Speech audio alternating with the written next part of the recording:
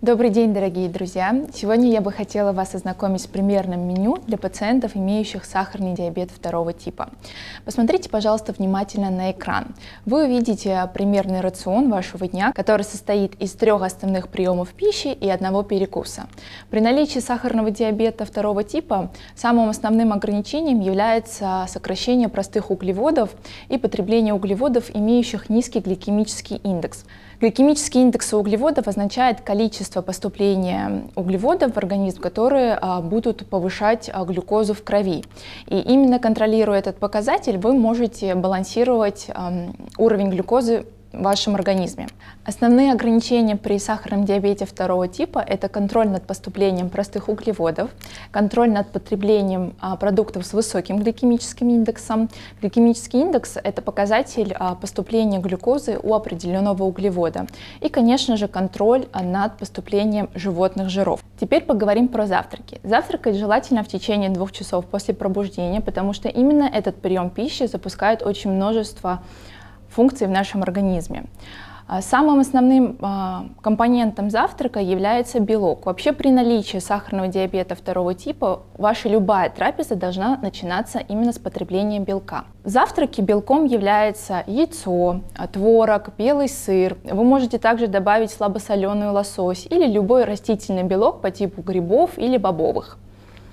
И дальше уже можете начинать потреблять свои любимые каши или, например, йогурт с ягодами. Для вас мы на завтрак подготовили омлет с овощами и пшеную кашу с тыквой. Хотим обратить ваше внимание на тыкву, потому что она является сезонным продуктом и очень благоприятно влияет на ваш организм. После завтрака вы можете себе позволить перекус. Иногда мы понимаем, что очень хочется сладкого, поэтому мы не запрещаем, чтобы вы добавляли себе сладкие блюда. Самое важное, чтобы этот продукт был правильным, рациональным, и вы должны научиться его самостоятельно готовить. Например, мы добавили в наше меню маленькие десерты из творога и какао. Они содержат низкое количество углеводов и такой полезный продукт, как какао. Далее наступает время обеда. Часто наши пациенты спрашивают про добавление супов. При наличии сахарного диабета второго типа мы рекомендуем супы делать делать на основе овощного бульона и добавлять растительный белок, например, грибной крем-суп или суп из бобовых. Если вам не хочется жидких блюд на обед, вы можете сразу перейти ко второму. Для вас на обед мы добавили филе индейки. Индейка содержит многое количество незаменимых аминокислот при низком содержании жира. В качестве гарнира мы подобрали дикий рис. Бытует мнение, что пациентам с сахарным диабетом второго типа нельзя потреблять рис. Но у бурого риса очень низкий гликемический индекс, что будет позволять глюкозе постепенно выбрасываться в кровь. Поэтому данный сорт отлично подойдет в качестве гарнира. И, конечно же, добавляйте в свою трапезу салаты, которые содержат свежие овощи и зелень. Причем обратите, пожалуйста, внимание на зелень, потому что она стоит недорого и при этом содержит большое количество минеральных веществ и пищевых волокон.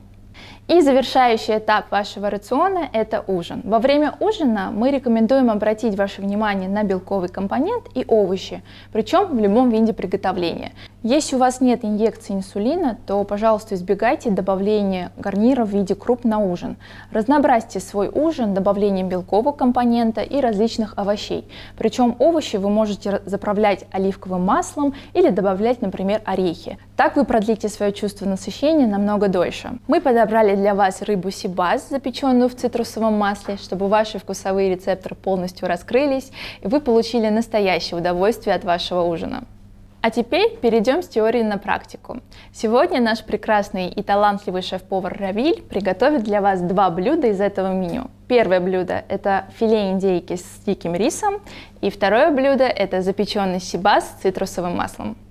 Для первого рецепта что нам понадобится? Конечно, нам понадобится наш замечательный, вкусный, дикий да. рис, который я уже отварил. Действительно, мы берем уже наш отваренный рис, добавляем его в небольшое количество овощного бульона, для того, чтобы перемешать, чтобы он у нас был посочнее.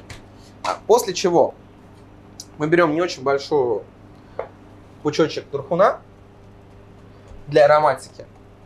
И а добавляем... можно, допустим, можно тархун заменить какой-то другой травой? Конечно, по вкусу каждого. То есть кто-то может заменить петрушкой, кто-то может заменить, э, например, базиликом. Вот так вот, чтобы у нас бульончик перемешался с нашим рисом, с тархуном. После чего мы выкладываем замечательный наш бурый рис вот в такую вот емкость, для того, чтобы он у нас прогрелся. Греться он будет буквально несколько секунд, потому что мы будем использовать турбопечку, которая называется у нас Oracle, в которой используется принцип таких технологий, как а, микроволновые волны, конечно же, тепловой удар и конвекция. Но если вы боитесь использовать микроволновые волны или вы бы хотели избежать то, конечно же, их можно полностью выключить и просто греть с помощью конвекции. Просто здесь за счет того, что происходит нагрев с большой интенсивностью, готовится продукт в два раза меньше по времени. Итак, рис мы подготовили. Теперь мы берем и достаем из нашего Linex Neo замечательную, вкуснейшую грудку индейки сувид. Сувид. И как вы видите, все наши самые вкусные части индейки остались вместе с нами. Итак, из пакетика мы достаем индейку. Вот такие два кусочка получились. У нас осталось небольшое количество бульончика, которое мы также можем чуть-чуть добавить к нашему рису. Мы берем мисочку, берем нашу индейку, чуть-чуть добавляем растительного масла и буквально в течение очень недолгого времени мы будем делать ее на гриле. Смотрите, у нас очень простой интерфейс, с которым очень легко ознакомиться. И главное, у нас здесь очень много рецептов, которые действительно вы можете использовать буквально в одно нажатие. Как сейчас делаю я? Я ищу куриную грудку. Но так же, как куриную грудку, мы можем приготовить индейку. Итак, что я делаю? Я беру, у нас здесь стоит специальная тефлоновая вставка, гриль. Я кладу нашу грудку, нажимаю на кнопочку, и буквально минута 30 у нас будет это все дело готовиться. Индейка приготовилась. Буквально минута, а у нас уже два готовых продукта. Но очень деликатно. Очень деликатно, очень удобно. И буквально немного времени нам для этого понадобилось. Нам еще нужно приготовить рис. Мы берем рис, нажимаем кнопочку. И буквально за минуту 45 секунд у нас будет готов рис. А пока мы можем нарезать нашу индейку. И посмотреть действительно, какой сочный, о, горячий и вкусный продукт мы получили. Посмотрите. Просто прекрасно. Она даже ножом не режется, она прям распадается. Итак, рис приготовился. Посмотрите. М-м-м. Вкуснейший рис. Вкуснейшее филе индейки. Опять-таки, все, что нам нужно сделать, посмотрите. Буквально за минуту. За две минуты, посмотрите, мы приготовили два продукта использовали минимальное количество времени, но получили максимальный эффект. Конечно, дома вы можете готовить не так быстро и больше времени уделять вашему продукту, но, как мы уже подчеркивали, наше оборудование предназначено для профессиональных кухонь, на которых вы хотите сделать ваши процессы более стандартизированными, простыми и быстрыми. Итак, после того, как мы прогрели и приготовили рис, мы добавляем индейку. И вуаля, у нас получилось очень деликатное, нежное и при этом очень вкусное блюдо. Следующее, что мы будем готовить, это сибас с ароматным, прекрасным, вкуснейшим цитрусовым маслом. Давайте сначала сделаем цитрусовое масло, потому что сибас в нашем оракле будет готовиться всего 2 минуты. Давайте. Поэтому мы можем уделить этому время. Итак, мы взяли хорошее, качественное оливковое масло. А допустим, чем мы можем заменить это? А, оливковое масло мы можем заменить растительным маслом. Спокойно. Мы можем, конечно же, заменить смесью, например, растительного и кунжутного масла. Только кунжутного нужно добавлять, конечно же, в два раза или в три даже раза меньше, чем растительного. Можем заменить арахисовым маслом. А допустим, если не цитрусы? Если не цитрусы, мы можем заменить любым ароматическим соединением трав например, тимьян, розмарин очень хорошо подойдут для этого. Можем добавить немножко чеснока, угу. либо мы даже можем добавить чуть-чуть чили перца. Итак, для вот этого прекрасного ароматного масла мы добавляем целый лимон, целый лайм, оливковое масло. И после этого это все тщательно, хорошо, слегка перемешиваем до однородной консистенции. Вот такой вот она у нас должна получиться. Мы берем сибаса. Прекрасная, замечательная рыбка. Допустим, Ее... если не сибас. Если не сибас, мы можем взять дораду. Почему бы нет? Мы можем взять султанку или барабульку. Вот, но султанка она больше по размеру, поэтому, конечно, ее предпочтительнее брать. Или наш любимый лосось. Прекрасно, куда же мы без лосося-то? Лососем единый, все как говорят.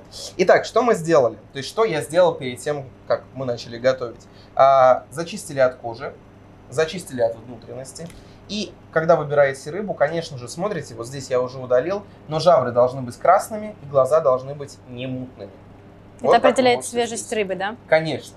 Ну, то есть, в любом случае, рыба у нас так или иначе шоково замораживается, но насколько правильно она заморозилась и сколько раз ее разморозили, заморозили, это, как вы знаете, та еще задачка. Да. После чего у нас есть два варианта, что мы с этим можем сделать. То есть мы можем ее, в принципе, запечь целиком, либо, как мы сделаем, мы удалим у нее хребет. Начинать нужно с хвоста и быть очень аккуратным. По спинному плавнику мы ведем наш нож до основания головы, чтобы у нас получилась вот такая картина. Дальше мы ее переворачиваем. И опять-таки от основания хвоста мы ведем до самого конца, до головы. Вот таким вот образом. То есть, по сути говоря, мы удаляем хребет, но не будем удалять голову. Итак, вот такая картинка у нас получилась. После чего мы удаляем хребет. Да, очень удобный способ.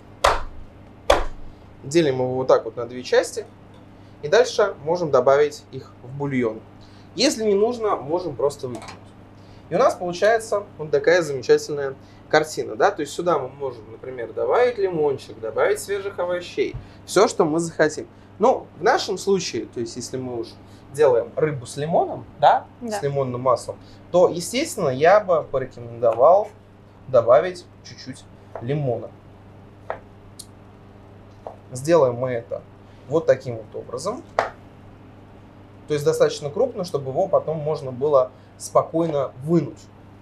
Если мы готовим в классической духовке, вот, то мы будем использовать конвекционный режим, то есть жар, и примерно будем ее готовить от 15 до 20 минут, в зависимости от размера рыбы. В нашем, конечно, замечательном аппарате мы будем готовить всего 2 минуты. Итак, мы начинили лимоном нашу рыбку.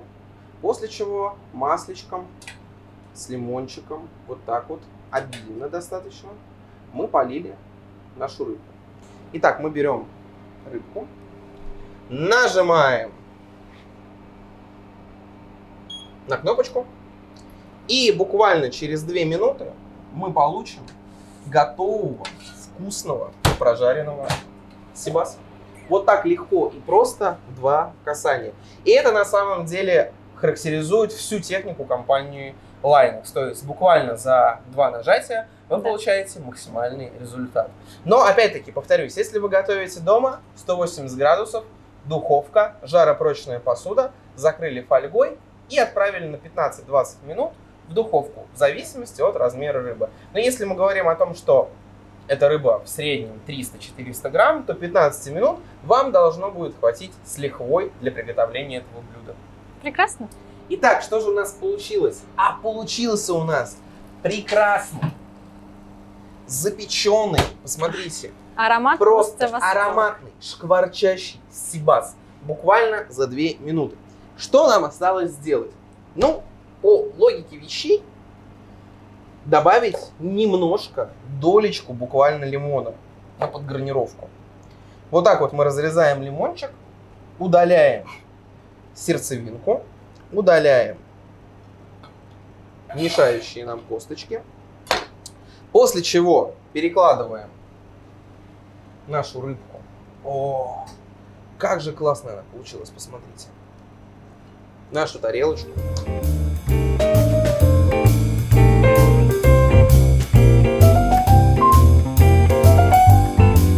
Итак, друзья, мы приготовили с вами вкуснейшее филе индейки сувид с диким рисом и турхуном. Всего нам для этого понадобилось 4 минуты времени, а за 2 минуты мы приготовили с вами сибаса в масле с нашими замечательными цитрусами. Как вкусно это получилось и как быстро это получилось с оборудованием от компании Linex и нашей турбопечкой Oracle. Я хотел бы вам пожелать здоровья и приятного аппетита!